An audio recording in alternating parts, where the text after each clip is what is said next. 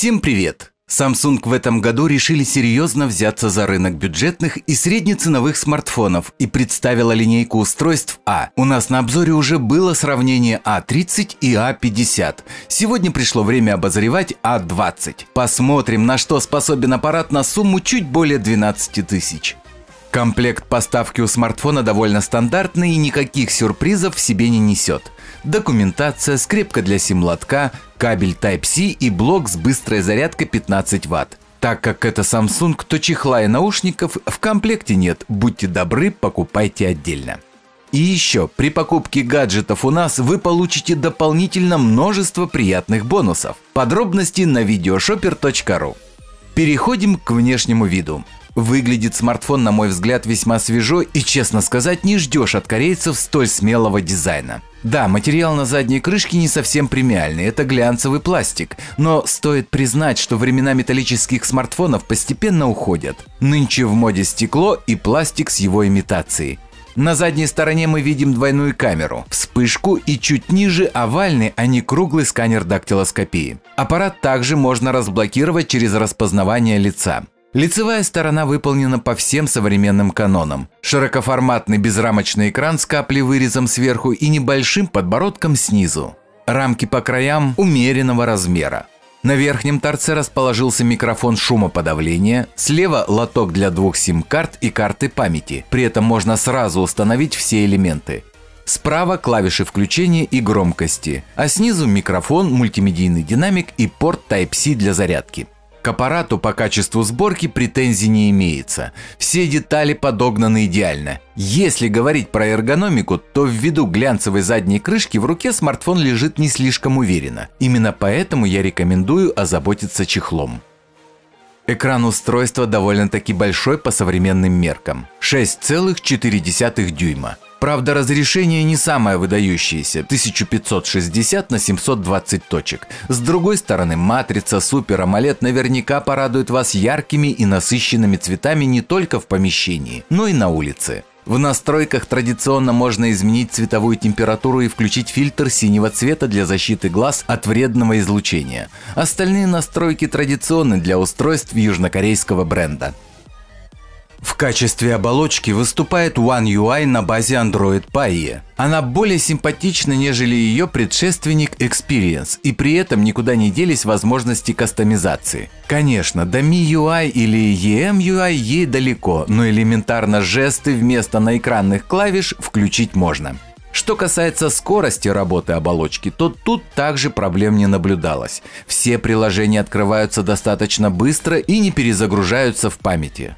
Аппарат умеет работать со всеми современными беспроводными стандартами. Он отлично ловит 4G, а также быстро ориентируется по спутникам. Не забыли и про Bluetooth 5.0 и NFC, что для А-бренда привычное дело, а вот пользователи зачастую лишены данных опций. Соответственно, Samsung очень грамотно сделали, что установили NFC. Связь аппарат держит вполне стабильно, случайных обрывов не было. Звучание из основного динамика одиночное, стереоэффекта нет. Оно громкое и без особых проблем дает возможность насладиться рингтоном вызова или послушать музыку через плеер или YouTube. Запас громкости присутствует. Что до звучания в наушниках или Bluetooth, то при помощи эквалайзера можно еще докрутить звучание до состояния «отлично». Запас громкости для шумных мест также присутствует. За производительность этой модели отвечает восьмиядерный чипсет Exynos 7884 с максимальной частотой 1,6 ГГц. Безусловно, это небольшая частота, но думаю, что переживать из-за этого явно не стоит. Оперативной памяти 3 гигабайта, а внутренней 32 гига, которые можно легко расширить картой памяти.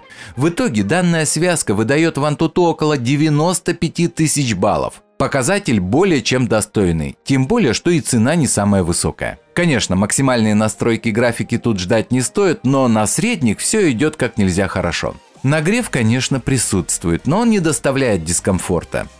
А вот аккумулятор однозначно порадовал. Целых 4000 мАч, которые при использовании вытекают в полтора-два дня свободы от розетки. Присутствует быстрая зарядка, что позволяет зарядить аппарат примерно за 110 минут. Просмотр видео доступен на протяжении 15 часов. В то время как с играми этот показатель естественно меньше – 6 часов.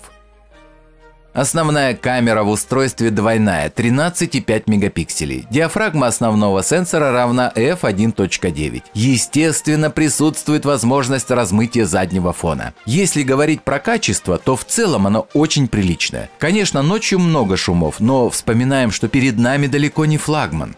Снимки днем обладают хорошей детализацией, да и с контрастом все в порядке. Запись видео доступна с максимальным разрешением 1080p при 30 кадрах в секунду. Фронтальный модуль довольно средний, 8 мегапикселей. Впрочем, для социальных сетей результат вполне приемлемый. Для съемки в темное время вспышку заменяет непосредственно сам экран аппарата. Примеры фотографий вы можете увидеть далее.